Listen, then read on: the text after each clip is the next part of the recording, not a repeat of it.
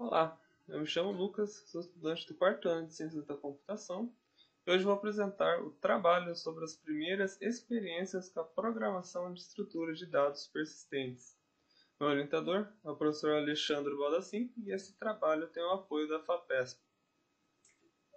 Nessa apresentação, iremos ver os principais objetivos do estudo, explicar o que é a memória persistente, veremos a biblioteca PMDK desenvolvida pela Intel, como acessar a memória persistente junto das estruturas que usamos no estudo, e por fim uma comparação com as memórias convencionais. Os nossos objetivos são estudar a biblioteca PMDK e comparar a programação de uma estrutura de dados persistentes com uma volátil. Para isso, desenvolvemos uma estrutura de dados do tipo lista ligada na memória persistente, a qual usaremos para comparar a velocidade de escrita e leitura da memória persistente com a memória RAM e o SSD. Bem, o que é a memória persistente?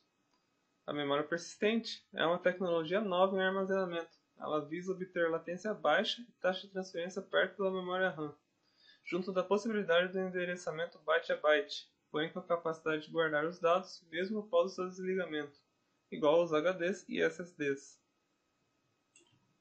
A Intel lançou a memória persistente dela, a Intel Optane, lançada em abril de 2019. Ela possui maior capacidade que memórias RAM e velocidade superior aos dispositivos baseados em blocos, como os HDs e SSDs, alcançando uma latência de leitura próxima à RAM, porém a escrita é três vezes mais lenta. Utilizamos ela nos nossos testes. Na memória persistente, existem alguns problemas por conta de manter os dados após o desligamento, como é o caso da inconsistência da memória. Para entendermos esse problema, devemos pensar o que aconteceria se desligássemos a máquina enquanto ela adiciona um elemento em uma lista ligada. Para esse exemplo, eu coloquei uma lista ligada com os valores 1, 2, 7 e 8 e onde queremos inserir o número 5.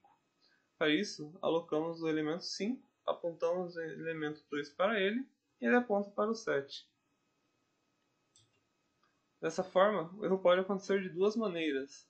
Podemos não atribuir o próximo da lista e assim perder todos os elementos posteriores, como é mostrado nessa imagem, perdendo os valores 7 e 8. Ou pode ocorrer dessa forma, onde ninguém aponta para ele, mas ele continua ocupando espaço na memória. Esse problema é conhecido como vazamento de memória, onde colocamos o elemento na memória, porém não inserimos ele na lista. Dessa forma, temos um elemento inacessível na memória.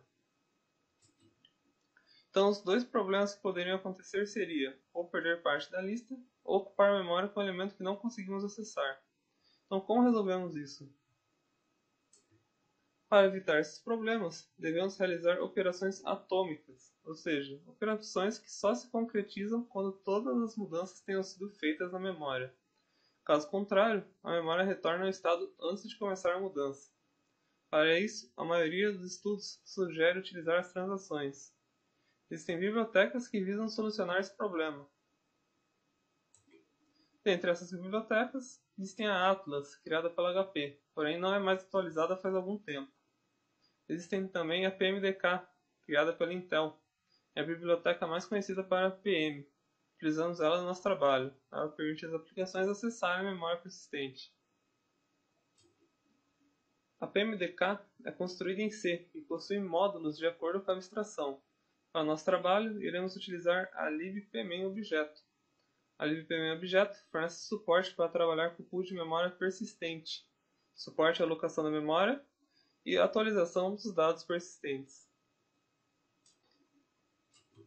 Nessa imagem, é possível ver os níveis do PMDK com sua respectiva abstração. A primeira camada, abstraída na figura como sistema de arquivos, é fornecida pelo sistema operacional, OSO, e é conhecida por DAX. O DAX basicamente garante que o acesso ao PM possa ser feito diretamente na granularidade de bytes. A segunda camada, a libpmen, fornece abstrações para as primitivas disponibilizadas pelo sistema operacional e hardware, como por exemplo, instruções de descarga flush de cache. A terceira camada é a libpmobjeto, que já comentamos no slide anterior. As camadas 4 e 5 não fazem parte estritamente da PMDK, embora muitas vezes sejam apresentadas de forma conjunta, porque são úteis no desenvolvimento de certas aplicações. E a sexta camada é a aplicação desenvolvida a partir de uma ou mais camadas fornecidas pelo PMDK. Na implementação da PMDK na memória persistente, temos algumas mudanças em relação à programação normal. Entre elas, temos que usar um pool de memória. Os ponteiros devem ser persistentes como falado anteriormente, devemos utilizar transações. As transações são usadas para alterar de forma consistente os dados persistentes. O pool da memória citado é uma abstração utilizada na biblioteca libpmobjeto é um espaço alocado na memória, com tamanho e estruturas definidas antes de começar as transações. Para acessar os objetos nessa pool, é necessário utilizar o objeto raiz. O objeto raiz é utilizado para armazenar os ponteiros que acessam os objetos persistentes. Esses ponteiros também são persistentes. O objeto raiz é parecido com a cabeça de uma lista encadeada, onde ele aponta para a fila, que no caso são os objetos. Nesse slide é demonstrado as estruturas utilizadas no nosso trabalho. Cituid, ou TOID, são macros que servem para dizer que o ponteiro está apontado, apontando para algo persistente. Esses ponteiros são de 128 bits e é necessário utilizar essas macros para conseguir acessá-los. Aqui mostramos o código para inserir um elemento na primeira posição da lista. Na primeira linha, abrimos a pool já criada, em seguida recuperamos o objeto raiz e a partir daí, abrimos uma transação com a macro TXPGIN na linha 14. É necessário especificar o pool na qual as operações de transação serão efetuadas. A maioria das operações utilizam macros.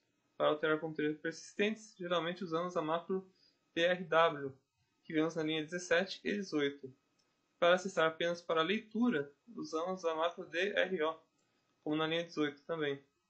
Outro exemplo, como para alocar, usamos o checks alloc, parecido com uma lock da linguagem C. Fazemos um checks edge para salvar o estado da raiz antes de ser alterado, ou seja, é realizado um snapshot. Esse snapshot é salvo no undolog, e assim a aplicação pode alterar o objeto sem perigo de falhas, pois se ocorrer algo, o estado é retornado ao ponto que salvamos. Então, após isso tudo, alteramos a raiz e fechamos a transação com o checks end. Para rodar os testes, utilizamos um benchmark conhecido, fornecido junto da biblioteca TinySTM. Ele realiza operações nas estruturas de dados. Desse modo, apenas adaptamos o código para realizar as operações na memória persistente. Durante 10 segundos ele insere, busca e remove elementos dessa lista. Usamos a taxa de update em 50% e conjuntos de 128 a 8.192 elementos. A máquina para testes conta com Intel Xeon Gold 5317 com 128 GB de memória RAM e 512 GB de memória persistente Intel Optane. E aqui estão os resultados. Os experimentos foram executados 10 vezes. O eixo X do gráfico representa os tamanhos dos conjuntos, enquanto o eixo Y representa a quantidade de operações realizadas. A RAM é representada pelas barras vermelhas a PM pelas barras azuis e o SSD pelas barras verdes. A PM, em média, é 4 vezes mais lenta que a RAM, enquanto ela consegue ser 188 vezes mais rápida com SSD. As principais dificuldades encontradas foram desde usar um pool de memória, trabalhar com ponteiros persistentes que necessitam uso de macros e também as transações presentes na biblioteca. Agora as conclusões. A memória persistente apresentou uma série de vantagens em relação aos dispositivos de armazenamento secundário, como o HD e o SSD. Entre elas, a principal é a velocidade, alta velocidade de acesso, permitindo a conexão direta ao barramento do processador. Foi possível perceber o uso da biblioteca PMDK para programação de estrutura de dados persistentes. Resultados iniciais indicam que a PM consegue um valor muito próximo ao da memória RAM. Notou-se que a PM alia-se às principais características da memória RAM e do SSD, a velocidade e a persistência de dados. Nossos trabalhos futuros visamos implementar na PM estruturas de dados persistentes diferentes, como a hash 7, onde a diferença de latência das memórias tende a ficar mais visível nos gráficos, comparando também com a SSD e a RAM. As referências estão disponíveis nesse slide. Obrigado por assistir, agradecemos o apoio da FAPESP e todos os códigos utilizados estão disponíveis no meu GitHub.